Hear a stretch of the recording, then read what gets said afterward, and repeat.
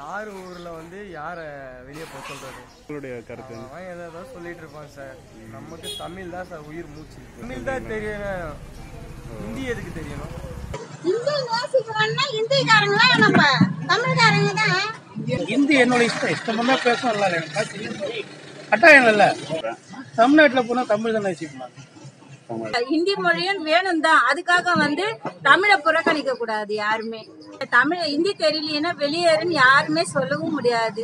ஒன்றியமான நம்ம இந்தியர்களை ஒன்றாகி இருக்குது பல மாநிலங்களில் உள்ள மனிதர்கள் நம்ம பல மா எல்லாரும் ஒன்றாக இருக்கணும்னு சொல்லிட்டு இந்தியில் என்ன எவ்வளோ விஷயங்கள் இருக்கு? ம், பெட்ரோல் விலை ஏறி இருக்குது. எவ்வளோ பிரச்சனைகள் இருக்கு? அந்த பிரச்சனைகளை சமாளிக்கிறது இல்லை. அந்த பிரச்சனைகளிலிருந்து எப்படி மக்களை வெளியே கொண்டு வர்றது? இல்லை அவங்களுக்கு என்ன தீர்வு சொல்றதுன்னு சொல்ல முடியாத ஒரு அமைச்சர் எனக்கு சிரிப்பாக தான் வருது வேடிக்கையான ஒரு பாடல். இப்போ ஹிந்தி தெரியாதவன் வந்து இந்திய நிலை என்ன ஒரு வேலை வந்து சட்டம் கொண்டு வந்தால் நீங்கள் என்ன செய்வீங்க? ஹிந்தி கத்துப்பீங்களா? முடியாது. எதிர்ப்போம் எதிர்ப்பீங்க. எதிர்ப்பாங்க ஏன் எதிர்க்கிறீங்க?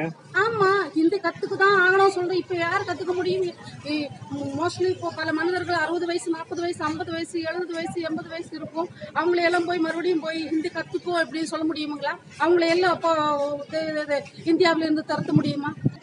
இப்போ நீங்க என்ன செய்வீங்க? ஹிந்தி கத்துப்பீங்களா? இல்ல என்ன பண்ணுவீங்க? நம்ம கற்றுக்கணும் அவசியம் தமிழ்நாட்டில் இருக்கிறாங்க இல்லை எங்களுக்கு தேவையில்லாத எங்களுக்கு தெரிஞ்ச போது தான் நாங்கள் பேச முடியும் இல்ல என்ன செய்வீங்க? அது அப்போ யோசிக்கலாம் சார். அதெல்லாம் வாய்ப்பே இல்லை. இப்போ வாய்ப்பு இல்லைன்றீங்களா?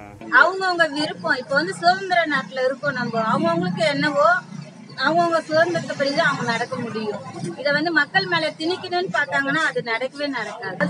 சட்டம் கொண்டு வந்து இதை கத்துக்கிட்டு தான் ஆகணும் அப்படின்னு சொன்னால யாருமே ஏத்துக்கவே மாட்டாங்க. வற்புறுத்தி ஒருத்தவங்களுக்கு வந்து அந்த மொழியை கத்துக்கணும் அப்படின்னா யாருமே இப்போ வந்து படிக்கிற பிள்ளைங்க ஈஸியா கத்துக்குங்க. படிக்காதவங்க என்ன செய்வாங்க? தமிழ் தமிழ்ல கையெழுத்து போடவே திணற மக்கள். ஹிந்திய வந்து கத்துக்கங்கன்னா எப்படி முடியும்? சற்று முன் டைம்ஸ் சோசியல் ட்ரெண்ட் செய்திகளை தவறாமல் காண நம்ம சேனலோடு தொடர்ந்து இணைந்திருங்கள்.